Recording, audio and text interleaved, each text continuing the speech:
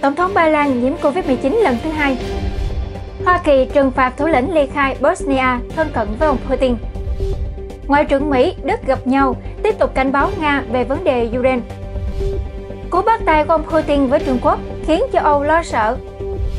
Đài Loan thông báo thành lập quỹ 200 triệu đô la Mỹ để đầu tư vào ngành công nghiệp Litva.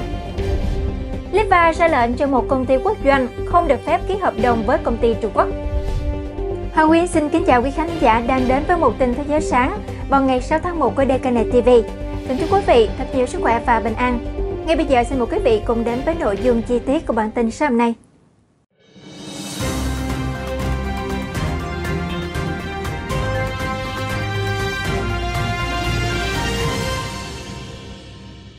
Thưa quý vị, Tổng thống Ba Lan Andrzej Duda, 49 tuổi, người đã được chủng ngừa bổ sung, đã được xác nhận dương tính với virus corona lần thứ hai vào ngày 5 tháng 1 theo giờ địa phương. Tổng thống Duda đã có kết quả xét nghiệm dương tính với COVID-19 và đang được điều trị.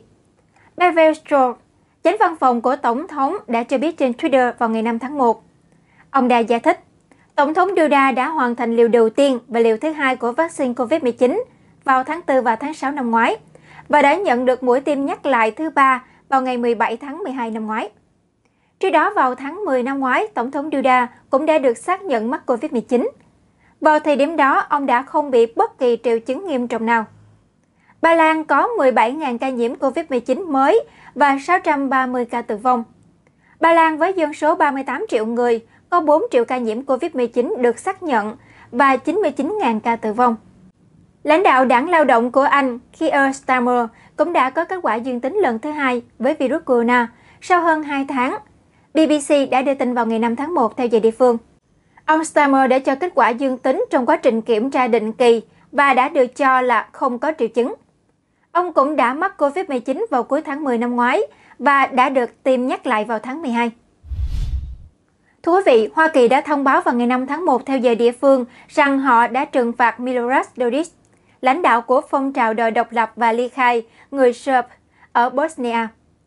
Theo hãng tin AFP, Bộ Tài chính Mỹ đã giải thích bối cảnh của các lệnh trừng phạt và nói rằng những hành động trái đạo đức của Dodis và nỗ lực phá bỏ thỏa thuận hòa bình Dayton đe dọa sự ổn định của Bosnia. Ông Dodis đã phải chịu các lệnh trừng phạt đóng băng tài sản của Mỹ. Điều này sẽ khiến cho bất kỳ giao dịch nào, kể cả quyền góp, đều là bất hợp pháp ở Mỹ. AFP đã cho biết.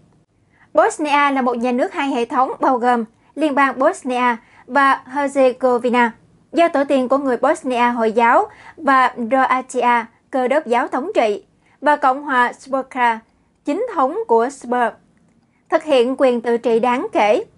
Đây là một hệ thống được tạo ra phù hợp với thỏa thuận hòa bình Dayton do Hoa Kỳ và châu Âu dẫn đầu, nhằm để chấm dứt cuộc nội chiến tàn bạo, khiến cho gần 100 người đã thiệt mạng từ năm 1992 đến năm 1995. Ông Dodis được biết đến với tình bạn thân thiết với ông Putin, thậm chí là còn coi Tổng thống Nga Vladimir Putin như là một người bạn lâu năm của mình. Các biện pháp trừng phạt của Mỹ đang gây chú ý, căng thẳng giữa Nga và phương Tây đang leo thang do việc Nga đã tăng quân dọc biên giới với Ukraine và các cuộc đàm phán về ổn định chiến lược Mỹ-Nga đang được tổ chức vào ngày 10. Thú vị, Hoa Kỳ và các nhà ngoại giao hàng đầu của Đức vào hôm thứ Tư đã nhắc lại rằng họ sẽ trừng phạt Nga nếu xâm lược Ukraine. Ngoại trưởng Hoa Kỳ Antony Blinken và người đồng cấp Đức mới được bổ nhiệm đã gặp nhau tại Bộ Ngoại giao Mỹ trước một loạt cuộc gặp với các quan chức Nga ở châu Âu vào tuần tới. Báo động trước việc Nga đã tăng cường quân sự dọc biên giới Ukraine, Washington đã tập hợp các đồng minh châu Âu để cảnh báo Nga sẽ phải gánh chịu hậu quả để cố gắng hạ nhiệt căng thẳng. Ông Blinken đã nói, đoàn kết xuyên đại Tây Dương mạnh mẽ là phản ứng hữu hiệu nhất và là công cụ hữu hiệu nhất mà chúng tôi có để chống lại sự xâm lược của Nga. Ông đã lặp lại cảnh báo rằng Nga sẽ phải gánh chịu hậu quả đáng kể với nền kinh tế và tài chính trong trường hợp Nga xâm lược Ukraine. Trong khi đó, Ngoại trưởng Đức Annalena Baerbock đã nói rằng Nga biết rằng đó là lập trường chung của châu Âu và Hoa Kỳ để áp đặt hậu quả nghiêm trọng trong trường hợp xảy ra một cuộc xâm lược. Tuy nhiên, bà đã không nói rõ Đức sẽ thực hiện hành động trừng phạt nào. Ngoại trưởng Đức đã nhấn mạnh sự cần thiết của một giải pháp ngoại giao để gia tăng căng thẳng giữa Moscow và phương Tây. Ukraine đã cáo buộc Nga điều khoảng 100.000 quân để chuẩn bị cho một cuộc xâm lược có thể xảy ra. Tổng thống Mỹ Joe Biden đã hứa sẽ tiếp tục viện trợ quân sự cho Ukraine để tự vệ trước sự xâm lược tiềm tàng của Nga. Bà Peelbot đã cho biết Đức có lập trường khác với Mỹ về việc cung cấp vũ khí cho Ukraine, nhưng đang hỗ trợ cho các lực lượng vũ trang Ukraine thông qua các nguồn cung cấp y tế và giúp đỡ trong việc điều trị các binh sĩ Ukraine bị thương trong một cuộc xung đột. Ngoại trưởng Blinken và bà Peelbot đã cho biết họ cũng đã thảo luận về đường ống Nord Stream 2 do Nga đã hậu thuẫn sẽ cung cấp khí đốt tự nhiên cho Đức, bỏ qua các tuyến đường trung chuyển hiện có qua Ukraine.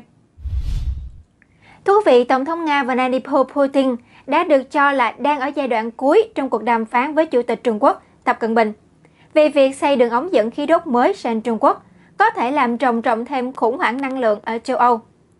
Theo báo Anh Express, thỏa thuận mới sẽ tăng gấp đôi lượng khí đốt Nga xuất khẩu sang Trung Quốc mỗi năm, thông qua đường ống dẫn khí đốt mới mang tên là Sức mạnh Siberia 2.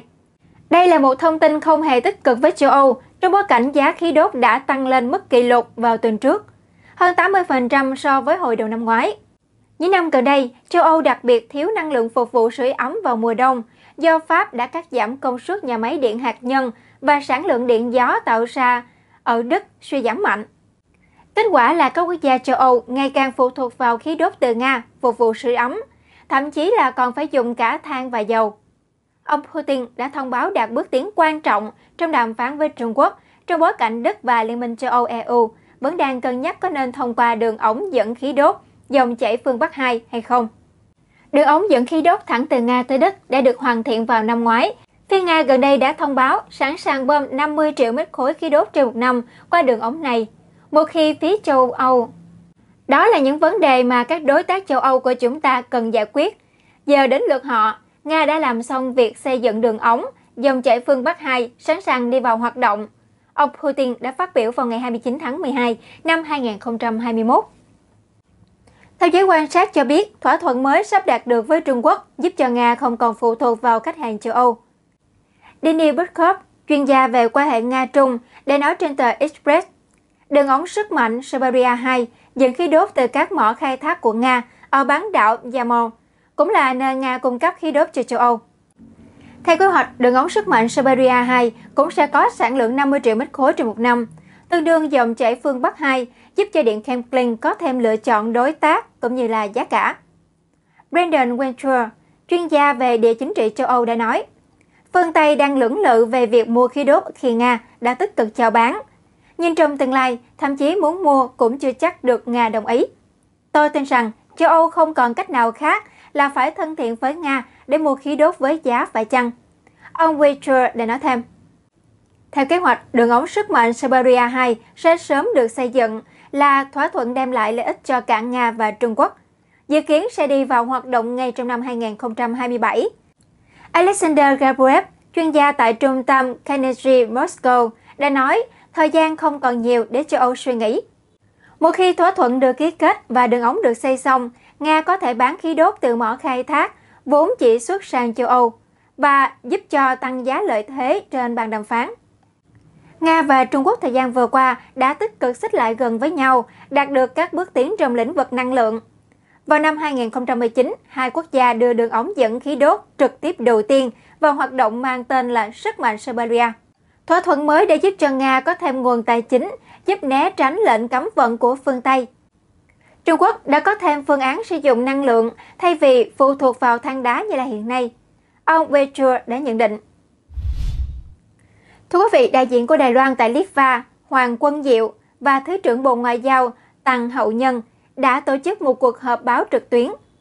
Ông Hoàng đã cho biết Hội đồng Phát triển Quốc gia Đài Loan sẽ thành lập Quỹ đầu tư Đài Loan, Trung và Đông Âu trị giá 200 triệu đô la Mỹ để đầu tư vào các ngành công nghiệp của Litva.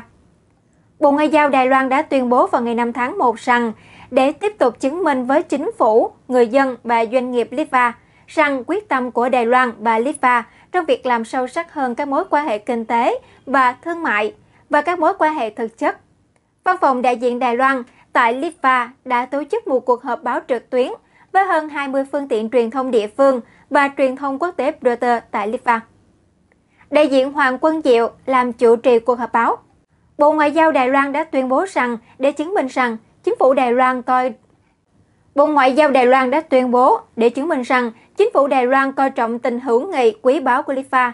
Thứ trưởng Bộ Ngoại giao Tàng Hậu Nhân đã được mời tham dự và cùng phát biểu trước các phương tiện truyền thông địa phương và quốc tế của Litva.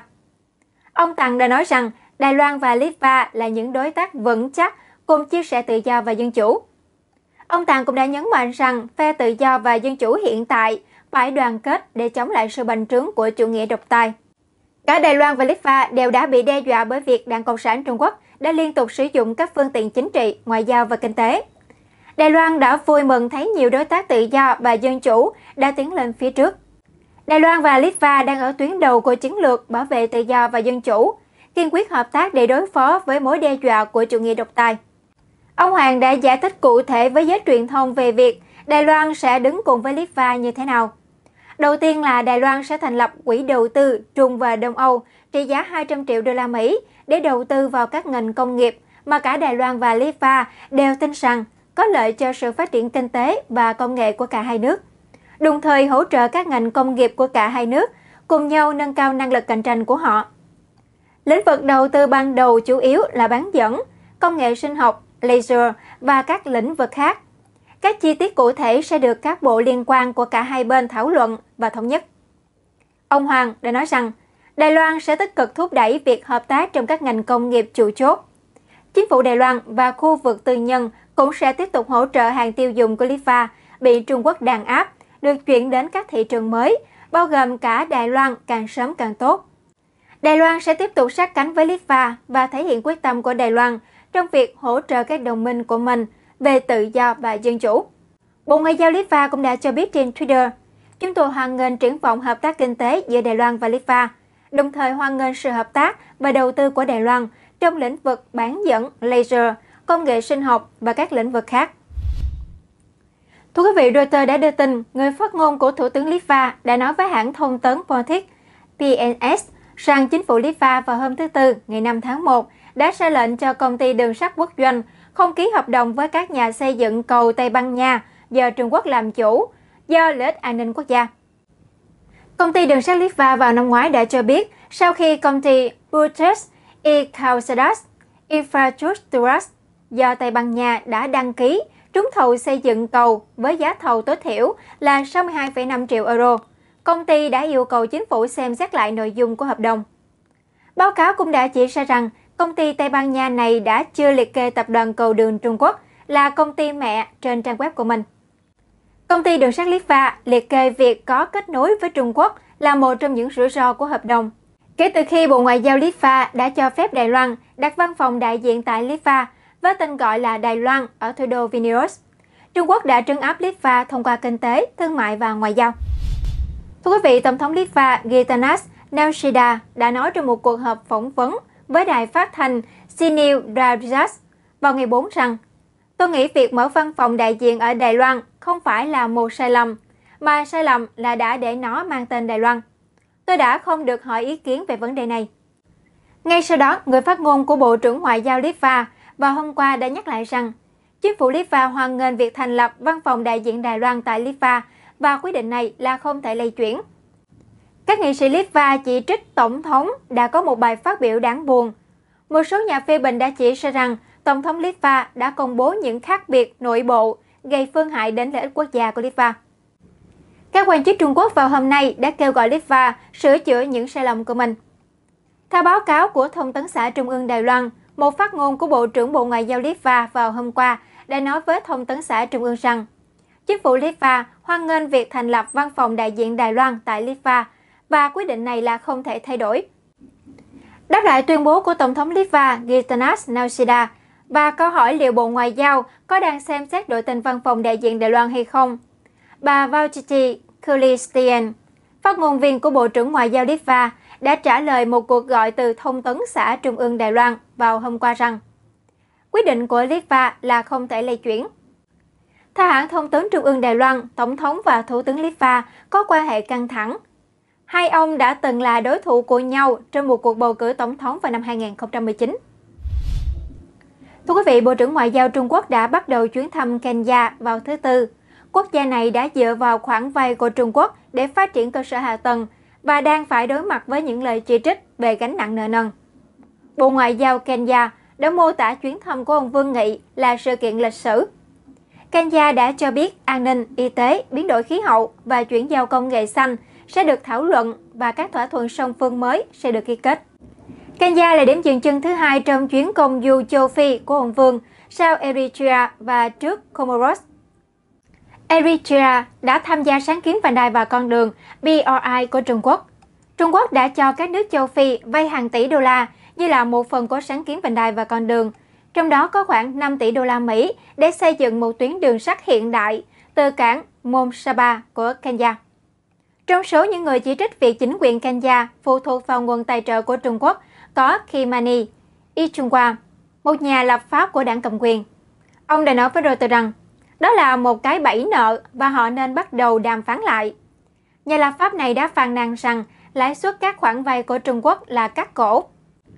Eritrea, một trong những quốc gia nghèo nhất và đã bị cô lập nhất trên thế giới, có liên quan đến cuộc xung đột ở Tigray, miền Bắc Ethiopia, và đã gây bất ổn cho khu vực sừng châu Phi.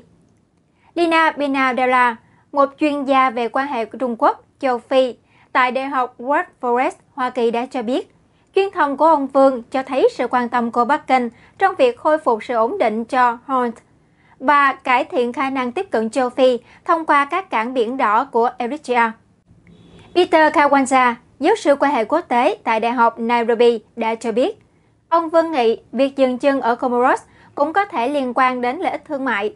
Ông nói, quần đảo Ấn Độ Dương nằm trên vành đai của một tuyến đường thương mại hàng hải đã được Trung Quốc gọi là con đường tơ lụa trên biển và được Bắc Kinh coi là quan trọng về mặt chiến lược. Thưa quý vị, chính quyền Trung Quốc đã tiến hành ngoại giao đường sắt thông qua sáng kiến một vành đai một con đường. Trong số đó, tàu tốc hành Trung Quốc châu Âu nối giữa Trung Quốc và châu Âu đã tăng lượng container vận chuyển thêm khoảng 30% vào năm ngoái. Một số học giả đã chỉ ra rằng hầu hết các hành trình trở về của đoàn tàu từ châu Âu đều là những chiếc container rỗng và chỉ những nhà sản xuất tại Trung Quốc được hưởng lợi ích chứ không phải là các nhà sản xuất châu Âu. Một báo cáo gần đây trên tờ SCMP đã dẫn lời của học giả người Anh Dragon Bablisevich đã nói rằng chuyến tàu tốc hành Trung Quốc châu Âu China Express đã xuất khẩu nhiều hàng hóa từ Trung Quốc hơn nhiều so với hàng hóa nhập khẩu về Trung Quốc. Khi con tàu đi từ phía Trung Quốc, các thùng container đều đầy ắp hàng hóa, nhưng hầu hết các chuyến tàu từ châu Âu về Trung Quốc đều là thùng rỗng. Đáp lại sự việc này, Triệu Tập Nhân, người phụ trách chương trình ngoại giao và các vấn đề quốc tế tại Đại học Công giáo ở Đài Loan, đã nói với RFA vào ngày 5 tháng 1 rằng Nói cách khác, cái gọi là tàu tốc hành Trung Quốc châu Âu đã đạt được giấc mơ Trung Hoa, chứ không phải là giấc mơ châu Âu. Ông Triệu cho biết, Tân Bộ trưởng Ngoại giao của chính phủ mới của Séc đã cho biết, Trung Quốc là nhà nhập khẩu lớn thứ hai của Cộng hòa Séc, nhưng chỉ là thị trường xuất khẩu lớn thứ 18 của nước này. Điều này đã cho thấy Cộng hòa Séc đã nhập siêu Điều này cho thấy Cộng hòa Séc đã nhập siêu rất lớn từ Trung Quốc. Nếu tất cả các thùng container đều trống rỗng trên hành trình quay trở lại Trung Quốc, các nước Trung và Đông Âu đã nhận ra rằng họ không được hưởng lợi ích kinh tế một cách rõ ràng do việc ký kết vành đai và con đường. Do đó mà Liên minh châu Âu đã thay đổi và thiết lập sáng kiến cửa ngõ toàn cầu hay là một phiên bản châu Âu của vành đai và con đường để đáp trả Bắc Kinh. Thưa quý vị, Bắc Kinh vào ngày 5 tháng 1 đã nói rằng các nước khác không nên gây rối một ngày trước khi Nhật Bản và Úc đã ký hiệp ước quốc phòng trong bối cảnh lo ngại về ảnh hưởng của Trung Quốc trong khu vực. Giới quan sát đã gọi hiệp ước của Úc và Nhật Bản là hiệp ước lịch sử. Hiệp ước nhằm để gia tăng quan hệ hợp tác an ninh và quốc phòng trong cuộc họp thượng đỉnh trực tuyến dự kiến diễn ra vào ngày 6 tháng 1 giữa lãnh đạo hai nước. Động thái này được dự đoán có thể là sẽ làm căng thẳng với Trung Quốc trong khu vực gia tăng. Ngoài Mỹ và Liên Hợp Quốc, đây sẽ là lần đầu tiên Nhật Bản ký một thỏa thuận dạng này với một quốc gia khác. Bloomberg đã đánh giá điều này có thể đánh dấu một bước đi gần hơn tới một mối quan hệ bán liên minh và có thể khiến cho Trung Quốc lo ngại. Thủ tướng Australia Scott Morrison đã cho biết trong một tuyên bố vào hôm thứ Tư rằng thỏa thuận cho phép hai nước hợp tác với nhau trong việc giải quyết những thách thức an ninh chiến lược chung. Trong khi đó, Bộ trưởng Nội các Nhật Bản Hirokazu Matsuno đã nói với báo chí vào ngày 5 tháng 1 rằng Chúng tôi và Úc cùng chung những giá trị cơ bản của dân chủ và tự do. Phản ứng với thông tin trên, phát ngôn viên Bộ Ngoại giao Trung Quốc Uông Văn Bân đã cho biết, hợp tác giữa các quốc gia nên cải thiện lòng tin và hòa bình khu vực và không nên nhắm mục tiêu vào bất kỳ bên thứ ba nào. Ông đã tuyên bố, Thái Bình Dương đủ lớn để tất cả các nước trong khu vực phát triển. Chúng tôi hy vọng Thái Bình Dương có thể trở thành một vùng đất hòa bình hơn là vùng biển nơi mọi người khuấy động rắc rối. Kính thưa quý vị, mời quý vị có thể đăng ký email để nhận thông báo về các bản tin quan trọng hàng ngày của DKN News. Quý vị cũng có thể theo dõi kênh DKN News trên Snapchat, một mạng xã hội bóng mật và tôn trọng người dùng. Kính thưa quý vị, mọi tin thế giới sáng của DKN TV đến đây xin tạm dừng. Cảm ơn quý vị và các bạn đã quan tâm theo dõi. Hẹn gặp lại quý vị và các bạn trong các chương trình tiếp theo.